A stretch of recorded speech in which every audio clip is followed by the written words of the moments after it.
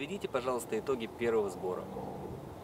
Первый сбор э, прошел плодотворно, нам повезло с погодой, э, нам повезло с полями, э, мы тренировались на прекрасных полях, и мы сделали практически весь объем работы, который был запланирован. Завершили сбор игрой.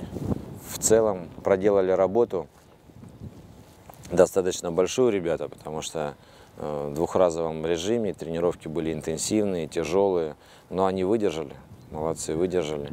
Вот, и уже концовку, концовку сбора, э, то есть мы увидели какие-то сдвиги.